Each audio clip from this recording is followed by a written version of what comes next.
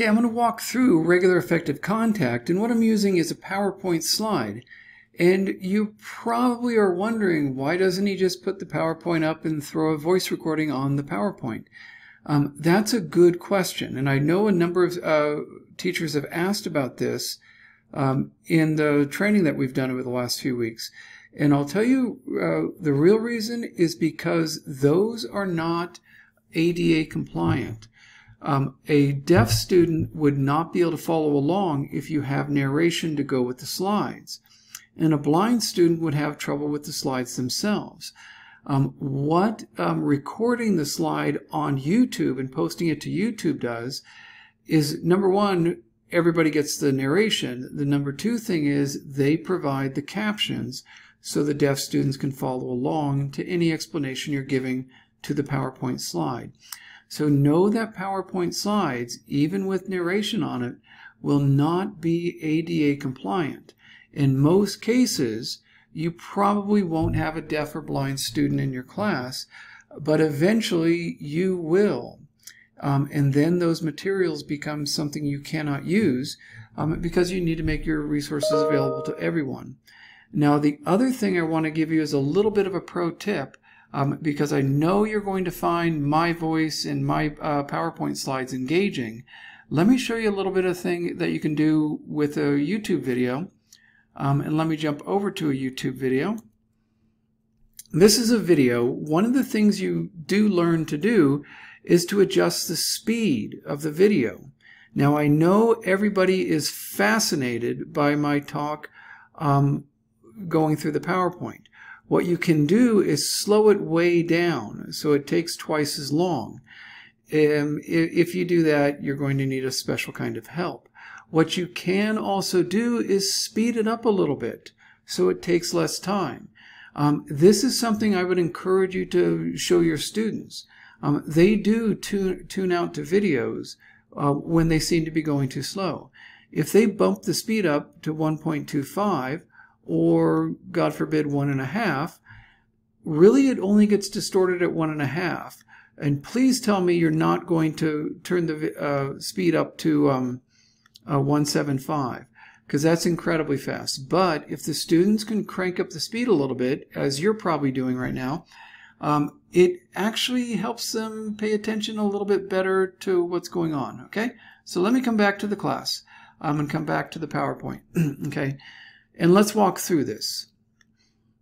Okay, now a bit of a disclaimer. I do want to make sure this information is designed to help you, help you with ideas, tips, and tools to engage students in the first week of your online uh, class. But please understand that the tips we'll go through are, are good for the entire semester. The goal is to give you an idea of what constitutes regular effective contact. It's also called regular substantive interaction before the course begins and in the first week of an online class. So you want to grab the student's attention right from the beginning and show them that they are going to need to be engaged in the course. Um, that they're not just opening the syllabus, saying, yeah, blah, blah, and then walking away. You want to get them involved in the course from the beginning. What we're not doing is telling you how to teach with this slideshow presentation. You really are the discipline expert and you know whatever field you're working in.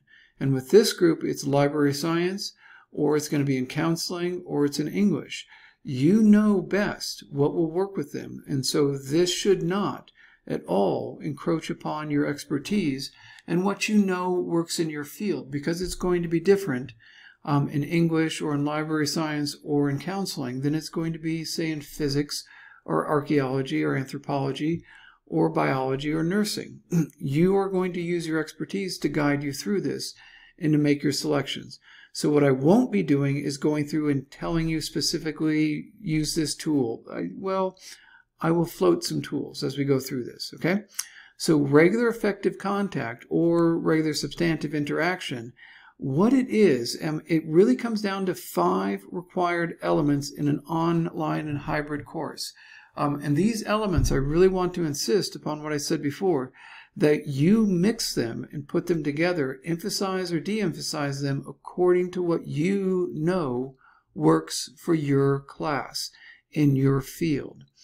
Um, all are required. All these five elements, you've got to make them go. They're they're quite easy, um, and you're going to want to use them anyway. but you don't have to use them, as I said, in the same proportion. You might emphasize or de-emphasize one or the other. Um, emphasize. You, you will find that in your discipline, certain things will work better, but also in your method of teaching, certain things are going to work for you in your style as an instructor. So there's going to be considerations within your discipline, but also you and what you think you can make work best. And it's going to be your personality um, and your expertise in one software or, or another application. Um, but the big thing is, um, and this is going back to what we know now, the uh, letters we know, ACC, JC, JC, what can be documented. And so those five that I'm going to go through are documented elements of regular effective contact. So these can be documented. They can be shown. I did this, I did that, here it is. So when they come knocking on the door and ask to see that you are actually engaging with the students, you can show them, number one, your threaded discussions, where the students went back and forth with each other and with you. Also, email. These are emails you've sent to them and what I'm going to emphasize is the inbox in Canvas. I will come back to that as we get through the semester. Um, that is going to be the best way to interact with the students um, through email. So email in your regular um, Canvas, excuse me, your regular email, um, the Microsoft email that we have now, that's not the best way we're going to be using the inbox within Canvas. And we'll review that if you're not familiar with it um, because that's the best way you can document that you've interacted with the students in your class, in this class, in this English 101. Um, the announcements that go out in the learning management system, the LMS, at least once a week. It shows that you've been keeping tabs on assignments and on the students and know what's going on, and they know um, what's going on. They do have a class with an instructor who's guiding them. Okay, um, timely and substantive feedback. This is usually the feedback that we give students on their assignments. Okay, so do you record videos and send it to them, or do you um, send out messages through inbox, or how do you send that so that they know um, you are a human being at the other end and an expert in your field? Um, instructor original content, in other words, e-lectures and videos that you create. Um, this is what distinguishes your course, okay? Um, and it avoids the, as we're going to go into the plug and play aspect that some people engage in with um, publisher material. Um, you can use publishers' materials, but you want to be making sure you produce a substantial amount of your content, okay? Now, in the beginning, um, when you've created a really dynamic and interesting course, how do you get students to get involved? In other words, how do you wake them up? Um, this gets into the issue of having a presence in the class. Um, that this is your class and they're going to be involved with you as an instructor. Um, there are tools, and it's always important to know you do not have a physical presence there. So there are tools you're going to use, email, announcements, videos, other things to create your presence. Okay, so what tools are available? We're going to be going through that to engage the students from the beginning. It's not just tools to post materials, it's tools that are involved in the engagement. That's what a regular effective contact is all about. okay, so let's go into a little pre-course contact because that can be a little bit touchy with some folks. Okay, so is your REC policy in your um, syllabus? Now, you don't need to state that the REC policy, the regular effective contact policy is, you just need to make sure that the students know that they're going to be engaged, um, that they can't just, you know, uh, like to watch, um, like Chauncey Gardiner, and just go along. They cannot be passive in the class, you know, and just sit down and go through their computer screen. Do they know what active engagement means? What tools are they going to be using? How and how often? Do they expect their interaction to be measured? In other words, is there going to be some form of the grade tied to it? I would encourage you to do that. Okay. So, and we're going to go through some sample syllabi by the end um, from some of the instructors um, from different disciplines, history and sociology, and an English one. Okay. What is required in your syllabus and in your Canvas course? Evidence of regular effective contact. ACCJC does ask to see it when they go through and they audit what's going on in the classes. They do want to see that there's interaction, videos, emails, announcements, other things. Um, that the students are not just going in there, picking up the reading, and then eventually dropping off an essay. So they want to see evidence of that. And again, I'll go through the tools, through the inbox, the announcements, and other things that allow you to provide evidence of interaction. Um, so evidence of student active participation, even during the first week. Yes, right from the go, you should get them involved. Um, so contact the students who are slackers. They aren't really engaged. Um, they're on the list. They think that's enough. They really don't think you're paying attention. Um, keep in mind that many students have different conceptions about how online classes work. Um, you're not going to easily unroot, uproot those um, conceptions unless you contact the students who did not make their presence known in the first week um, I would encourage you to go through the inbox or other means and get a hold of them and state very clearly what's expected of them. Why didn't you take part in the discussion? I need you in the survey. Um, it's due, you know, by Wednesday. Um, create the expectations. So clear and direct directions to the students on what they are responsible for. Um, for many students, this might be, it probably is the first time they've had an online course.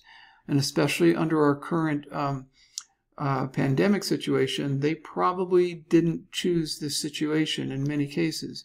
So be very direct with what's expected of them and expect to hold their hands. So there's information on the instructor, contact information, turnaround time, and frequency. They should know if they email you, how about how long it's going to take um, to return the emails, the messages, and things like that. Um, there is no one single way, and I'm going to emphasize this throughout the training to accomplish regular effective contact or just about anything in an online uh, class. Use your best judgment.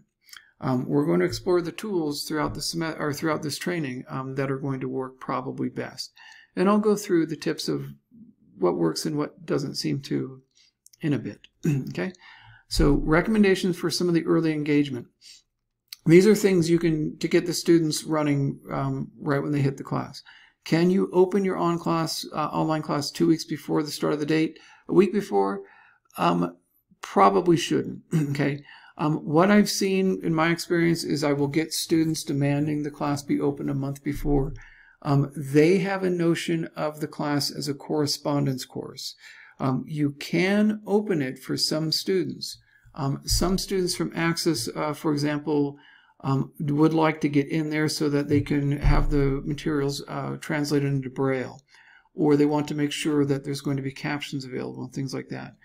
Um, so some of the reading materials and some of the videos and some of the other uh, materials, some of the content can be opened up a week before or so, or two days, two weeks before. Um, but what you don't want to do is give the students access to the assignments. Okay, um, you don't want them basically completing the assignments beforehand or handing it off to somebody else to complete once the semester starts. Or they might start shopping around for instructors. In other words, how's the easiest way I can get an A or a B? Um, so I would encourage you to, well, you're not supposed to open the assignments, um, but I would encourage you to resist um, many of the requests um, that you open up the class early. If you do have a situation um, where you do think it would be best that some of the students get in there. I fully trust your expertise. Um, you do know best. Um, but you might want to resist letting students into the assignments um, and be careful with you know how you open the doors and that you do it consistently. Do you welcome students before the start date? You know, send them out a welcome letter or something else or an emailed announcement or a welcome video. I personally use welcome videos because I like them to see who I am and how I go about things.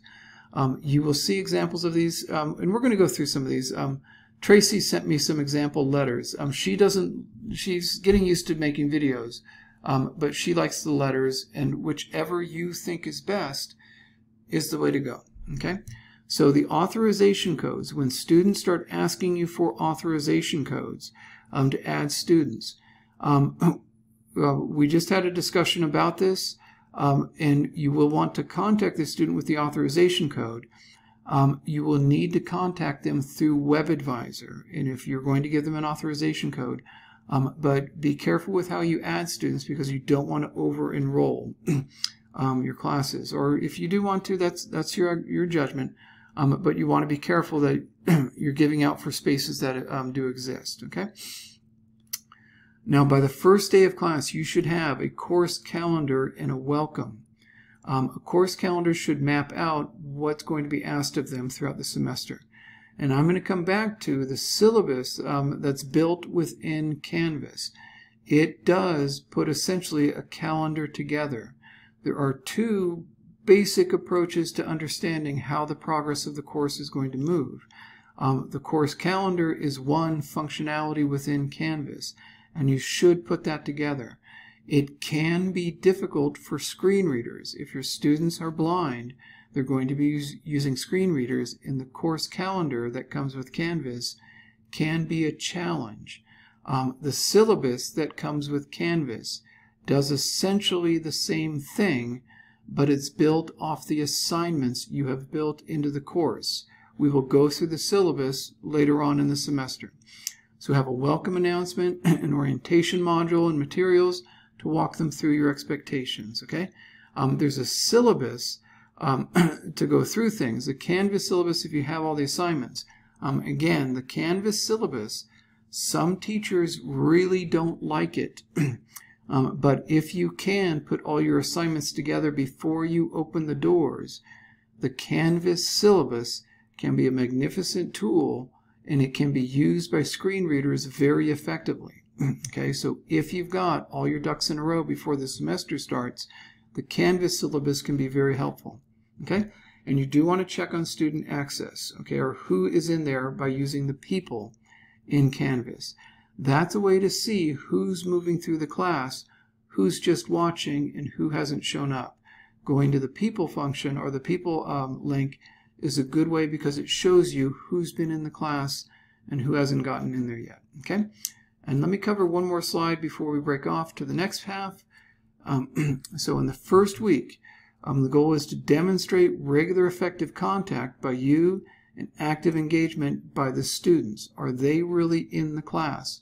Or are they Chauncey Gardiner and just there to watch? Here are the suggestions. Create a pre-course survey. Now, one little thing I want to give you a heads up on, um, that's in what's called Canvas quizzes.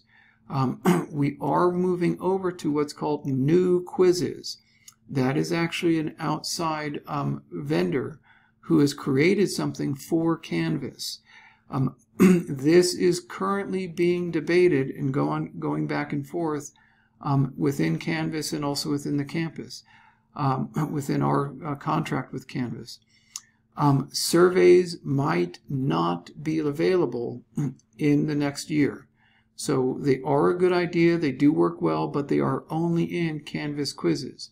When we move over entirely to new quizzes, the survey function is not necessarily active.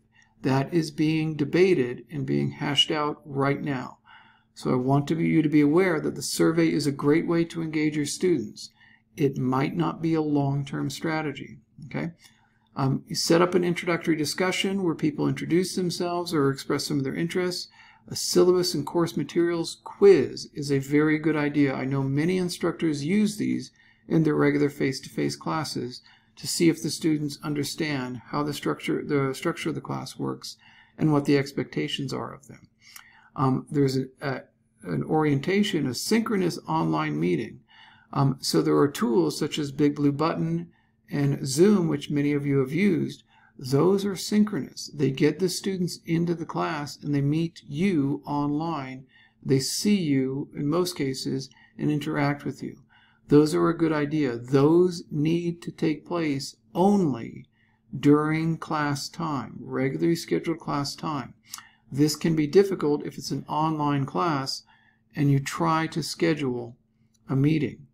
Um, if the class is scheduled as an online class, it does not have a regular scheduled time. Um, so scheduling a synchronous online meeting using Zoom or Big Blue, Big Blue Button could be a problem. If, however, you have a regularly scheduled time and you've been moved online, then that meeting, the synchronous meeting, must take place within the parameters of the scheduling of time. Okay, so I'll go over this again. So if you have a regularly scheduled class, the synchronous discussion has to take place during that scheduled time. Okay, all right, I'll finish this up with uh, 10 more slides in a bit in part two. Take care.